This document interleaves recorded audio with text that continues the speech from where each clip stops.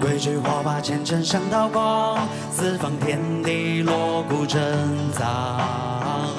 古人相信神已变恶良，八朝诡计魑魅魍魉。Hello，大家好，这里是花音乐。最近几年，随着某音等平台的崛起，越来越多的网络神曲开始走上台面。从最早的《生僻字》到后来的《学猫叫》《沙漠骆驼》等，可谓是层出不穷。而且正所谓流水的神曲铁打的某音，基本上这些歌都是通过某音流传开来，最终成为了传唱度极高的神曲。我们一起学猫叫，一起喵喵喵喵撒个娇，哎呦喵喵喵喵喵，我的心脏砰砰跳，你留下你的坏笑，你不说爱我，我就喵喵喵。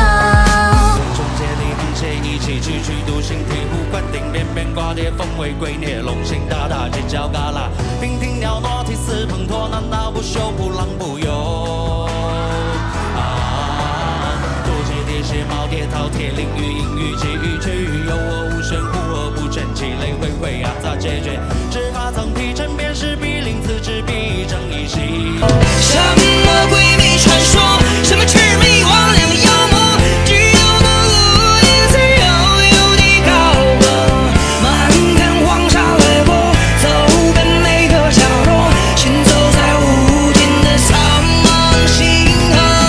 然而，网络神曲作为华语乐坛的非正规军，总是容易出现各种各样的问题。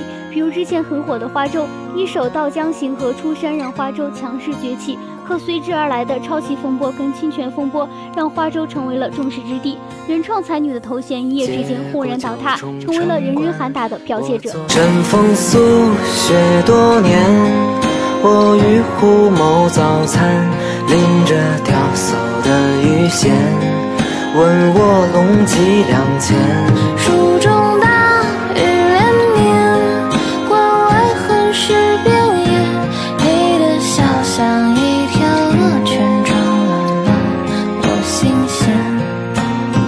但是神曲并没有因此停下脚步，仅仅过了几个月的时间，一位名叫隔壁老范的年轻歌手就出现在了人们的视野里。这位零零后的网络歌手凭借一曲《我曾》席卷大街小巷。说实话，按照这个发展，隔壁老范极有可能成为新生代的希望。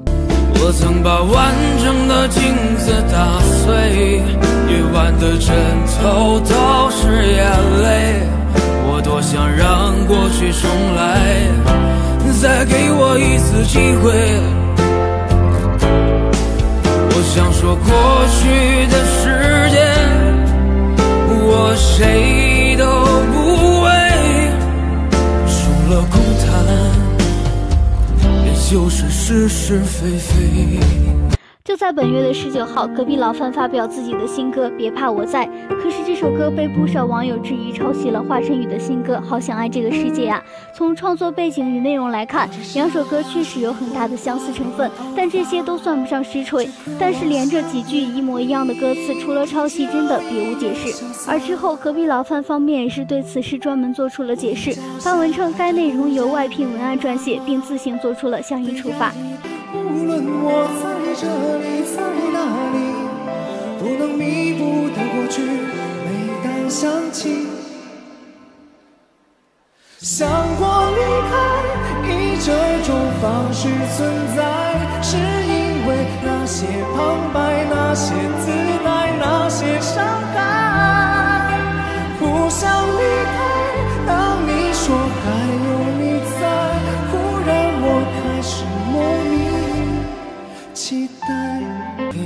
隔壁老范真的是自毁前程，原本被无数人追捧的新一代神曲制造机，看来是将要陨落了。唱的不好没关系，但是抄袭实在是无法原谅。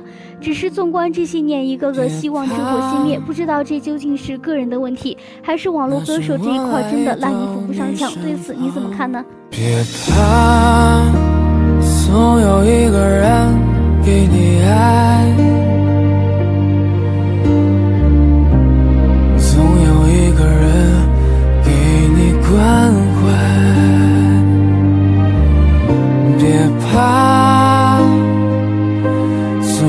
一个人让你依赖，